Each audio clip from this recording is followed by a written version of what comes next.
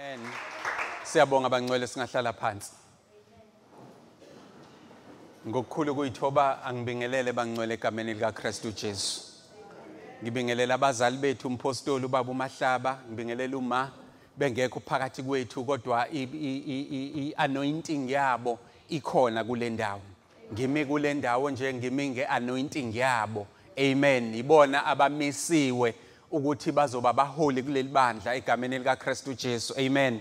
Bawo Moses no Aaron bethu bangcwele. Amen. Eh ngibingelela i-leadership yebandla. Eh ngibingelele abazivakashele visiting pastors and their wives.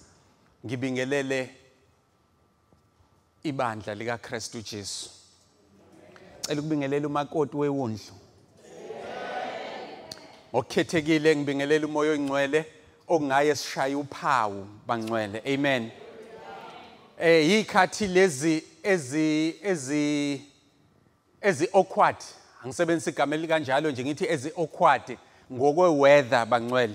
Sibonile izinto ezenzekile kuleli kuleli viki eh siyaqonda ukuthi kunemindeni eminingi eye yaba affected eye yakhahlamezeka ngendaba ye weather siyibandla siyi-leadership yebandla siyazwelana kakhulu nabo bonke abahlali base-KZN abaye bahlukumezeka kule weather. Siyazwelana nabaneyihlobo nabangani ebandleni makukhona abaye bathinteka.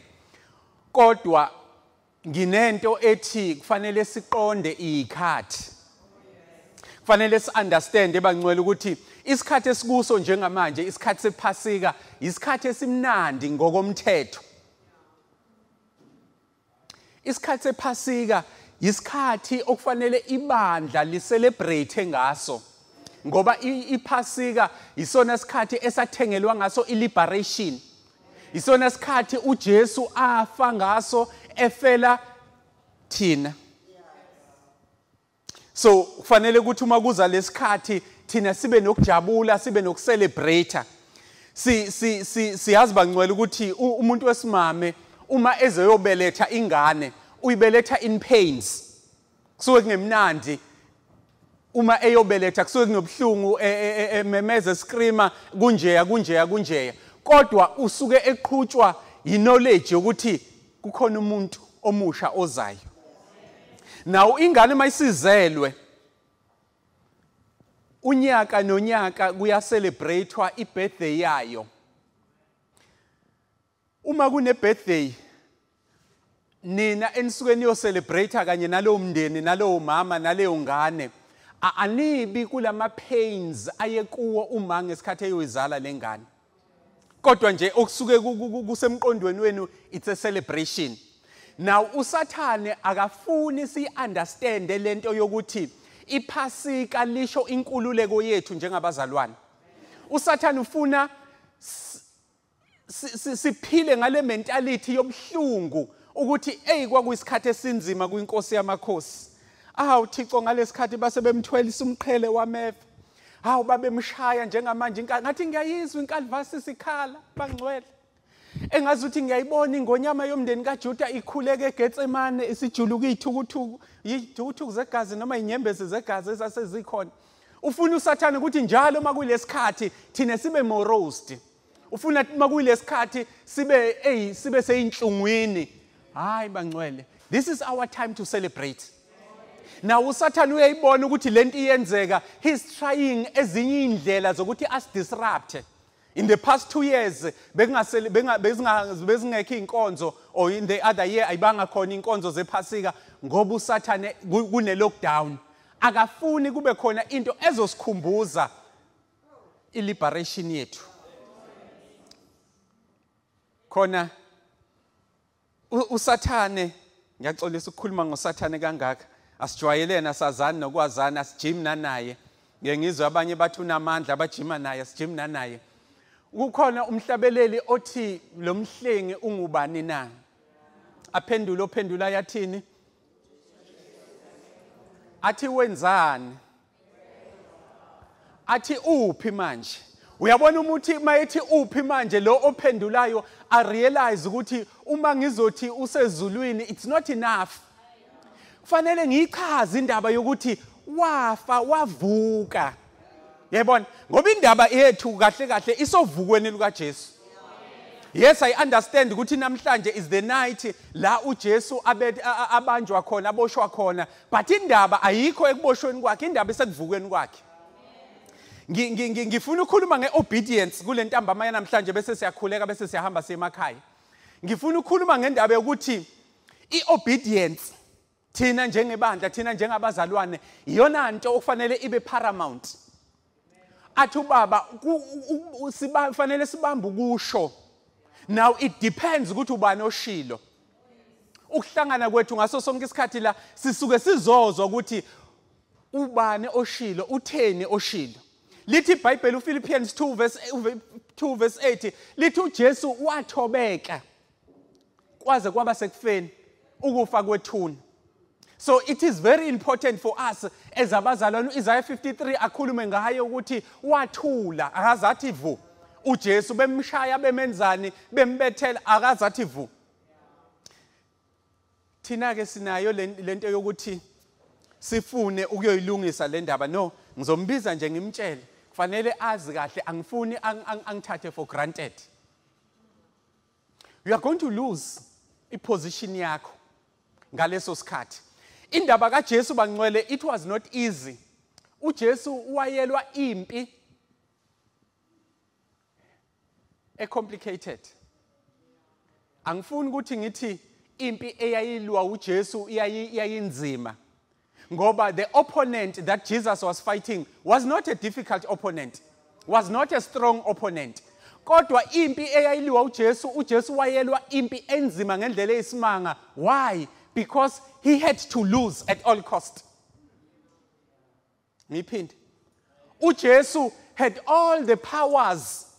Ukhumbula ukuthi uLuke 1 verse 37 uthi for nothing is impossible with God uJesu wayina wonke amandla okuyinqoba lempi ayeyilwa ngaleli langa ayelwa ngalo. Ukubanjwa kwakhe siyakhumbula ukuthi ngesikhathi bembamba ngesikhathi ephuma eGetsemane esaseGetsemane nje eyokhuleka uthi uma yekhuleka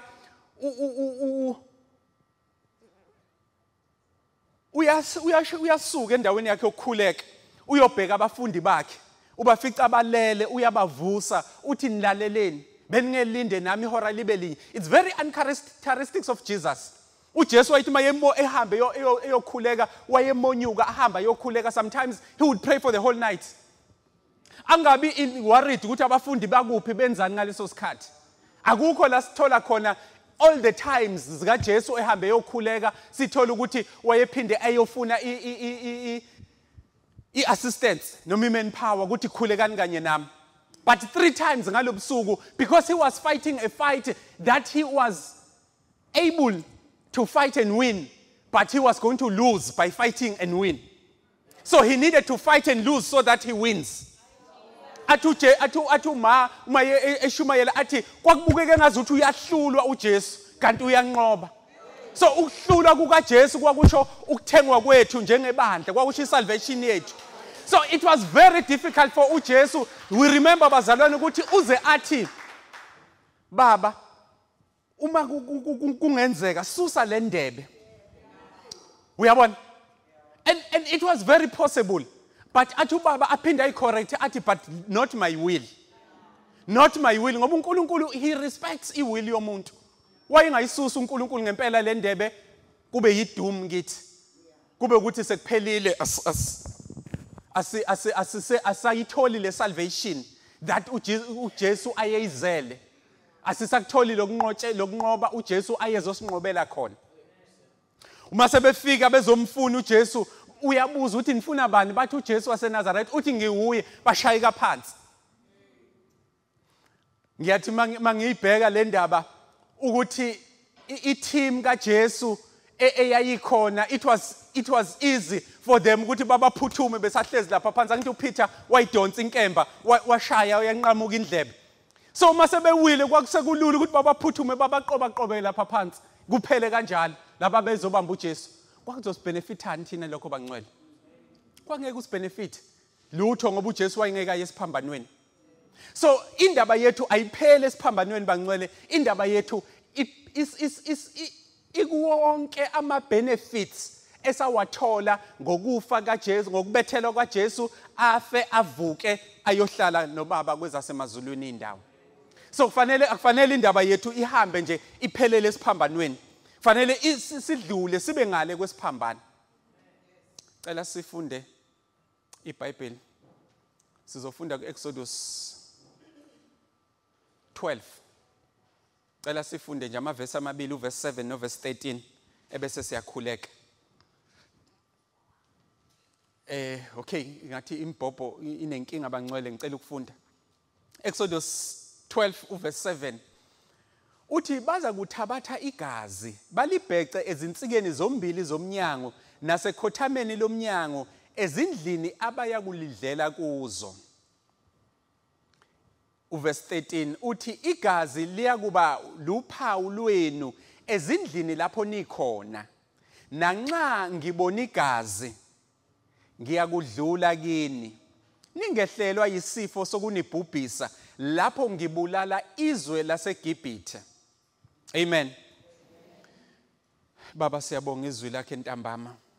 Khuluma ngalo moya oyingcwele uligcwalise ngamandla uligcwalise ngomlilo nzulu yemfihlakalo egameni lika Kristu Jesu waseNazaretha liwenze inkosi yamakhosi umehluko liyenze sense empilweni zethu kule ntambama yanamhlanje. Egameni lika Kristu Jesu waseNazaretha. Amen and amen. Cishe ngabingelele. Eh bangcwele i- indaba yethu la iku Old Testament. Ngiyafuna ukuyi-emphasize leyo ukuthi i-Old Testament so that you will understand ukuthi uma sikhuluma nge-Old Testament sikhuluma nge-New nge-Old Covenant eyayikhona ngaleso sikhathi. uNkulunkulu lo okhulumayo la ukhuluma noMoses unikeza uMoses i-instruction. Ubani uMoses? uMoses is of the generation eh kaAbraham. uMoses uzalwa endlini kaLevi. Sizokhumbula ukuthi u- uNkulunkulu uma ebhubhisa umhlaba waye wa- wa- wa- waseva uNoah namadodana akhe amathathu oShem noHam no noJafet. Na kula madodana ka- ka- ka- ka- ka- ka- ka- kaNoah amathathu I, I, I want to believe ukuthi ayekholwa ayemkholwa kakhulu uNkulunkulu. But endlini kaShem kwase kuphuma eh kuma generations down the line kwaphuma inceku okwakuthiwa eh uThera. uThera lo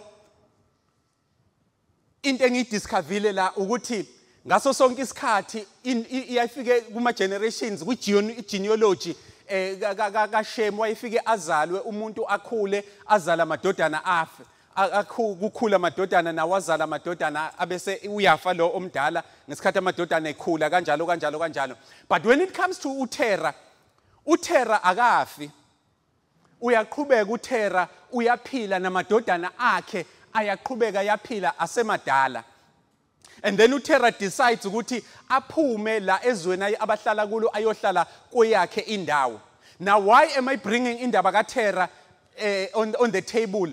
Yingoba kunento ethi uThera wabese egudluka yena wasuka ekuseveni uNkulunkulu. Noma engasukanga ekuseveni uNkulunkulu kodwa wabese efaka ezinye izinto ayezoseva ngazo uNkulunkulu. In short nje uThera wabese eqala ukwakha izithixo izithixo lezi ezayikhonza koBabylon uThera wayenomthelela ekwakhiweni kwazo. Now uAbraham wayeyindodana kaThera I'm not sure noma kwakuyindodana encane kaThera he realizes this he sees this thing and I, I understand kahle ukuthi wh- why would abantu spend imali yabo bezothenga eh, unodoli bese eh, lo nodoli ngoba usenikwe igama nje is the is the god of God of ba- bantu banikezwa kuthiwa u-God of miracles God of eh, inzalo God of this God of that why would abantu ngelinye ilanga ngazuthi uThera I'm, I'm not sure whether is story noma ngathi uThera wayengekho washiya uAbraham ukuthi akasale ethengisa. uAbraham ebabuza abantu ukuthi hayibo niyazi nje ukuthi lo nkulunkulu enzomthenga ubaba ade mbumba nje izolo. Okusho ukuthi ubaba is ubaba u- u- uThera is a bigger god. Ngoba phela ubaba is able is capable of creating o- of molding onkulunkulu. Kusho ukuthi uyabona ukuthi uthi ubaba ucishe abe umdali ngoba ukwazi ukudala onkulunkulu. Enibakhonzayo nina nikhipha imali eshisiwe. Now why am i bringing that? Ingoba uAbraham uma kufika izwi kuAbraham ku- ku- kuGenesis 12 elithi phuma ehlotsheni zakho uye ezweni engizoku- engizokukhombisa lona it's because God needed somebody. God always need a person azosebenza ngaye azoliberate ngaye ngaye izwe. So wayesebona ukuthi uAbraham uma eqhubeka ehlala la okusho ukuthi le yanto engiyimisile ukuthi ngenzalo yakhe kuzo ku- ku- ku- ku- ku- kuzophuma i- i- i- um- um- um- um- um- umhlengi umsindisi. Abese mkhipha uAbraham and uAbraham we all understand bazalwane uAbraham is the father of faith. uAbraham wamshiya kanjalo uThera waqhubeka uAbraham wahamba wayohlala e- e- e- endaweni zakhe. uAbraham gives birth to uIsaac the son of i- i- pro- the promised the promised son angithi Isaac? yes. And Isaac gives birth to uJacob no no no no no. Esau uJacob gave birth to abafana abawu12 amongst those boys kunoLevi. uLevi kwigeneration kaLevi ila kuqhamuka khona uMoses amen so uyabona ukuthi uMoses hayi ukuthi kwaba it was just kwakuwumfana ezelusele nje waseyibonela isihlahla wasethi ake ngiphambuke. Ingoba vele he was predestined. Ubuya vele endlini eyayimisiwe uNkulunkulu ukuthi umsindisi uzovela kuyo. Now uMoses uma ise ngizokungena endabeni kaMoses but uma iseyile lapha eGibhithe eyokhuluma noFaro zonke lezi zinto ezikhulunywayo one uMoses waye esikhathini esinzima ngoba he had to convince number 1 the the Israelis ukuthi ngithunyiwe uNkulunkulu. uNkulunkulu oh mhlambe ake ngibuyele lapha ku ku Abraham. uAbraham ku chapter 15 Genesis chapter 15 when God promises him a son when God promises him a land uyamtshela uyamnikeza ama details ukuthi somewhere somehow nizohamba niyoba ama strangers in a foreign land. Nizofike nihlale kuyi foreign land. Kodwa ngesikhathi esi right ngizofika mina eJehova ngizonikhulula. Bamba lokhu ke uthi mase ngizonikhulula anizukuphuma nje ninhlwempu. Kulezwe engizobe ngikukhulula kuleyo zenzo. God is even giving the uh, very clear uh, uh, period ukuthi it's going to be 400 years. Now 400 years usuphelile. God has come down ngoba uthi ngizwile. I mean uthi uthi uthi ngi- ngiyazazi insizwe zabantwana bami. Ngizwile ukukhala kwabo ngakho ngehlile ukuzobakhulula now uma isehlile ke then uMoses comes into the picture. After uMoses had tried to convince uFaro and and and and and and and and and and enze zonke lezi zinto lawa ama miracles ayewenza nawo nazo zonke inhlupheko ezehla zehlela iGibhithe ngalesikhathi sika Moses but uFaro akavumanga eventually we come to Exodus 30 Exodus 12 la sekufika khona inhlupheko yokugcina now bambaki all this time akukho okwakufuneka kwenziwa abantwana bakwaIsrayeli. All this time zonke inhlupheko ezazikhona zazishaya nje iGibhithe kwenzeka this kwenzeka that bona belokhu bepreserved. But this time around God gives an instructions. Uthi tshela abantu ukuthi bathole iwundlu. Indlu nendlu nendlu nendlu nendlu ayibe newundlu. He's even given details ukuthi bazoligcina for 14 days. Bese ngosuku lwesi14 bayalihlaba. Number 1 iwundlu. Number 2 it's not just any iwundlu but le wundlu kufanele liexaminwe kufanele lihlolwe kutholakale ukuthi liduna linonyaka owodwa alinasici. Number 3 ebese liyahlatshwa le wundlu. Mase lihlatshiwe le wundlu bese liyathathwa igazi. Liyabhecwa einsikeni phinde nangala bhece futhi ensikeni. Phinde nalapha ezulu ekhothameni lendlu libhecwa igazi. Bazoyi-unpacka-ke abanye ngesinye isikhathi ukuthi kusho ukuthini lokubhecwa kwegazi ngapha nangapha nalapha ezulu angikho lapho. Ngisekutheni-ke mase libheciwe igazi. Bese iwundlu liyadliwa. Bazolidla iwundlu. One ama-clear details anikiwe ukuthi lizoshiswa emlilweni alizokupheka but what is very important ukuthi indlu nendlu fanele ibe nalo iwundlu indlu nendlu kumele ibe nalo iwundlu now ngiyakholwa ukuthi a- a- angithi siyakhumbula la kukhona inhlupheko noma ngakhumbula ukuthi kwakuye singakhi la abantwana ba- la kwabamnyama khona ezweni. Lonke izwe lasegibhithi kwabamnyama. Kodwa lithi ibhayibheli egosheni la kwakuhlala khona abantwana bakwa-israyeli kwakukhanya. Ngiya- ngiya- ngiyafuna ukuthi siyibheke lento ethi uma kufika umyalezo wokuthi indlu nendlu ayibe newundlu lihlatshwe on this particular day kwakubalulekile mntakababa ukuthi utholakale usegosheni. Ngoba manje uphuma kwakho egosheni uthi uyovakasha eCairo kungenzeka manje ukuthi ifike inhlupheko kanti awukho eCairo khona ngifuna ukukhuluma nabo kulolu suku lwanamhlanje. Ukuthi uma ngabe uNkulunkulu sekhipha umyalezo wakhe wokugcina uzobe sewulethe kuwe direct. Akakuthole uhleze egosheni. Ngoba manje uma ngabe uzo uzo uzo uzo uzoba angazi uzoba nomusa uthanda ukuvakasha uhambe uyovakasha babuzulu uzofika umyalezo kanti wena ukho egosheni. Mhlawumbe usavakasha eCairo mhlawumbe usavakasha eNairobi angazi ukuthi babevaka amadolobha aseGibhithe ayikhona ngaleso sikhathi ayethini but umlayezo uma ufika uthi endlini la kukhona khona iwundlu la kuhlatshwe khona iwundlu uthi ngizothi uma ngibona igazi ngidlule lapho. Ngoba into izobe inokufa nokujeziswa nokufa kwe-next generation phela amazibulo yiwona akhera the next generation. Amazibulo yiwona indlalifa amazibulo yiwona aphethe isidi okuyiyona okuzoqhutshekezwa ngawo umuzi. Ngisho nasekhaya bayazi abantu besilisa la uma kuwena omdala ekhaya wena okuthiwa hayi wena phela wena ozovusa umuzi. Laba abancane abaka- banandaba noma bangayiphumela boyihlalela kothekwini kogoli wena kodwa uma umdala kuthiwa but on this particular day god is saying i am going to be dealing with ama-firstborn not only ama-firstborn enu endlini ngisho ney'nkomo lapha esibayeni ngisho ney'mbu oku- okuyiduna nje okuyi-firstborn tonight is dying. So bakhona aban- aban- abantwana aba- abantu base- ba- basegibhithi ababevakashile. Kuyenzeka mntakababa uyithole usendaweni e-right. Ngesikhathi esi-right kodwa obungabhilongi kuyo. Kuyenzeka futhi ngeshwa lakho uyithole usendaweni e-wrong ngesikhathi esi-wrong ebese usafarisha ama-consequences akule ndawo kuyo.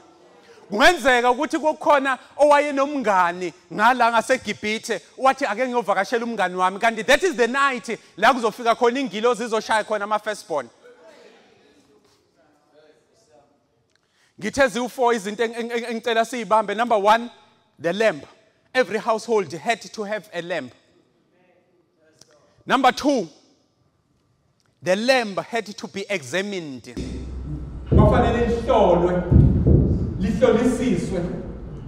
Iwundlu leli kutholakala ukuthi alinasici kutholakala ukuthi number three the blood.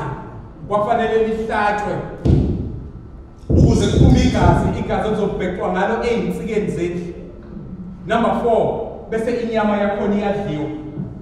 Kuze izogcwala izisu. Athi ubaba it became i-passover yabo. Abakwazi ukuphuma bengenalo iwundlu eswini for you ukuze ukwazi ukuphuma kufanele libe khona iwundlu eswini. M- m- israelites. Awuyi-imagineke lento ethi abantwana bakwa-israyeli nabantu basegibhithe nje generally saba-experience these plagues or plagues le nhlupheko for so many a times there were, there were how many 10 angithi? There- were 9 before le yes 10 yes 12 yes 10 kunalezi zinto eziwu-9 esezenzekile. Do you think ukuthi basamthanda uMoses? Do you think ukuthi basam basam basamkholwa uMoses basamthemba uMoses. So uyabona ukuthi mabethi uMoses ethi akuyo- akuthathwe iwundlu bayabuka ukuthi we nangoke manje usengenela thina. Usefuna ukubulala imfuyo yethu. So uMoses it wasn't easy for uMoses. But uMoses had to be obedient to God. He had to go to aba- ama-israelites ayoconveya imessage. Athi ushilo uthixo. Ngiyakholwa mina ngoba uthixo eseshilo kunjengoba kuzobe kuzo- kuzobe kunjalo. Kodwa uma si- si- siseqa siza ngala kwi-new testament kujohn 1 uverse 29 sithola ujohane ethi behold the lamb of god. Behold the lamb of god. Now we are introduced to a lamb. Ngishilo ngathi ngaliyana ukuze abantwana bakwa-israyeli bathole inkululeko they needed a lamb. Nala ku-new testament sesingena ku-new covenant manje ukuze sithole inkululeko we need a lamb. And where is the lamb? Who is the lamb? Jo- ujo- ujohn 1 verse 29 uyali-introduce ujohane iwundlu. Uthi nanti iwundlu uthi bheka iwundlu likankulunkulu elisusa izono zezwe now ithi into yami ujesu had been on earth for 30 days. I'm sorry for 30 years.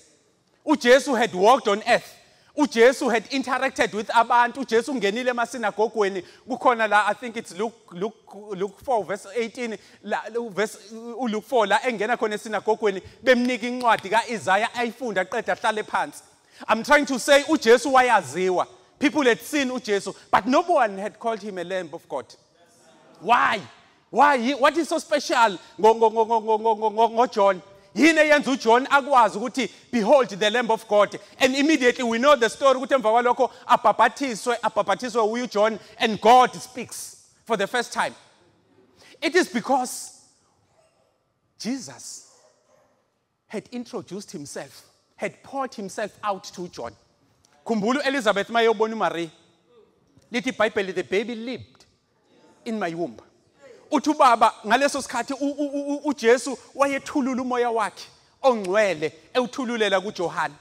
uJohane uhamba nje sonke lesikhathi uyamemezela esihlane uthi lungisana indlela yenkosi he's filled with the holy spirit. Uhamba nje uJohane uyazi ukuthi ukhona yena uzasho ethi angiqualify ngisho ukubopha imchilo wezicathulo zakhe. But inkinga kakahlangani naye. Bahlangana naye bayambona kodwa aba- aba- they- they they are not declaring him as the lamb of god. When he sees him alisho lebhayibheli ukuthi wafika wambuka wambukisisa wa- wathi hayi eh, lithi wamkhombeseza lekude wathi behold the lamb of god. Now thina njengebandla ses- ses- we've already been ushered into the lamb of god. It is the lamb that we needed for us to be saved. It is the lamb that we needed for our salvation. And the lamb is given unto us kulo busuku banamhlanje the lamb is given unto us. Remember sivumelene ukuthi it is the lamb. Then the lamb had to be examined. Indaba yami ngicela ukuyiqala khona lapho nje ukuthi ngalobo busuku ke ujo uJesu sezokhashelwa esehambe nabafundi bakhe wayegetsemani wayokhu- wayokhuleka bayafika bayambamba bayambopha. And ekumbo ekuboshweni kwakhe uJesu he was moved from pillar to post. Waphuma enkantolo wangena enkantolo waphuma wangiphuma u- u- okokuqala nje sebembophile bamthatha bamusa ku- ku- ku- ku-anas. Waphuma enkantolo ka-anas wayongena ku- kaKephas waphuma kuKephas wasiwa kuma-sanhedrin i- i- isigungu lesi eh, sabapriest waphuma khona waya kupilato.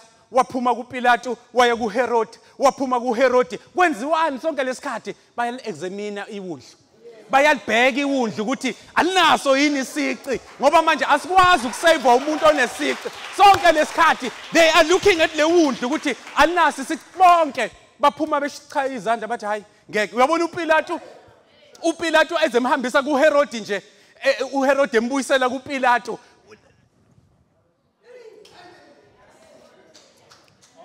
The lamb is given unto us.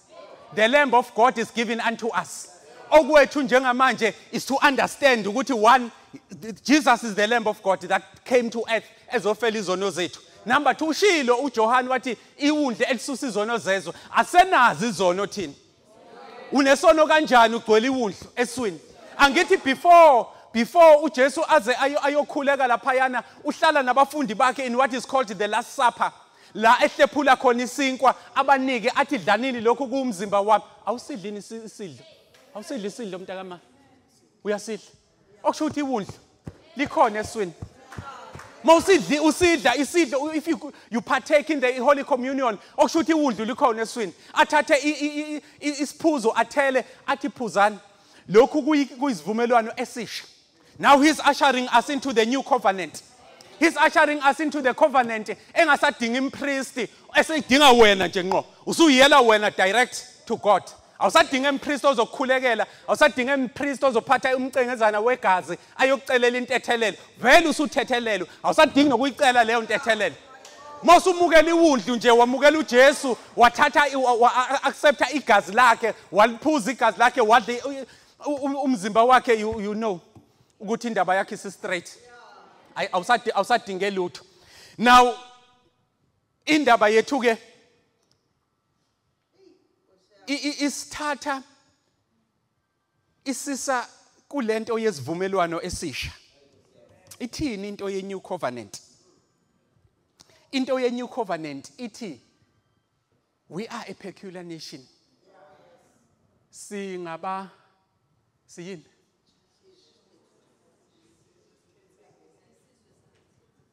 Siyini futhi? Siyini futhi? Siyini futhi? Ku- ku- kunabantu abaningi bangcwele esi-understandayo ukuthi eh ukuphumelela kwabo kwavela ngenxa ye-obedience. Remember siyavumelana sonke ukuthi jesus was obedient to death even the death of the cross. Kwakuwufa kwehlazo lokho kodwa because waye e- e- e- edetermined ukwenza njengokusho to be obedient mhlambe ngicela uku- ukufunda la to be obedient is to comply with the order or the request or the law. To be obedient is to submit to one to one another's authority. To submit. uJesu submitted to God until death. Uyayathi umpostoli uma ekhuluma ethi bamba ukusho kwakhe. Kuya ngokuthi ubani oshilo uJesu mayifica oPeter laphana bathi sesidoba ubusuku bonke. Kodwa athi nevertheless ngoba wena usushilo sizoliphosa futhi amanethe. Ngishilo ngathi uMoses wahlangana nesihlahla sivutha. And Moses believed ukuthi this is God that is talking to me. Wahamba he carried out the, the mandate. He was obedient. uMaria ma emshadweni wasekhana makuthiwa seliphelile iwayini uma efika uthi kubafundi bakhe nanoma ngabe yini ayishoyo anoyenza we see i-obedience lapho kubafundi ngoba babe ngathi abafundi ho yabona? We see obedience ngaso sonke isikhathi. So it is very important ukuthi we remain obedient ngaso sonke isikhathi egameni likaKristu uJesu waseNazaretha without i-obedient without i-obedience indaba zakho ngeke ilunge mntakamba without i-obedience indaba zakho ngeke ilunge bhuti wami sisi wami ngiya- ngiya- ngiya- ngiya- ngiya- ngiya- ngiya- ngiyakutshela it is very important that we obey and we obey the, the, the, the, the word of god ngaso sonke isikhathi now ngicela ukuvala ngento ethi yes we understand kusasa sizobe senza amazwi ayisikhombisa yingakho indaba yami bengifuna ukuyigcina la iwundlu lisa-examinwa khona kukhona la lizobeke sel- sel- sel- selingena kwi-step selishushiswa selishaywa sekuphuma igazi sekwenzeka this and that and that and that and that. But i want us to understand and i want us to believe lento yokuthi indaba yethu bazalwane yokucelebrate iphasika. It's just a celebration. Just like we celebrate ama-birthdays indaba yethu dala yaqedwa. Thina siyindlalifa zezulu. Thina singaphezu kwabanqobi. Thina indaba yethu istraight asabi njengamanje ngoba kwenzeka lento eyenzekayo nje asinayo thina into ethi hey kunzima. Hey emhlabeni kuyadunguzela. Because we understand times. Thina ngiyacela bangcwele lento ukuthi ake siqale siyenze lento yokuthi bayazi abashadile ukuthi uma ulungisela umshado ulungisela with excitement. Noma kuthiwa imali ayikho useshilo umuntu wedekho wathi u-80,000 awukho u-80,000 akukho ngisho u-5,000 kodwa i-excitement osuke unayo ulungisa. Yini into eyenza ukuthi singabi excited thina njengebandla? Because all the signs are here ukuthi Christ is coming back ukuzohlutha ibandla lakhe noma ukuzolanda ibandla lakhe. Let us get excited. Let us put ourselves kuyigiya bazalwane lokuba excited. Sithi look forward to the rapture of the church. Let us look forward to the rapture of the church. See, sikhohlwe izinto zasezweni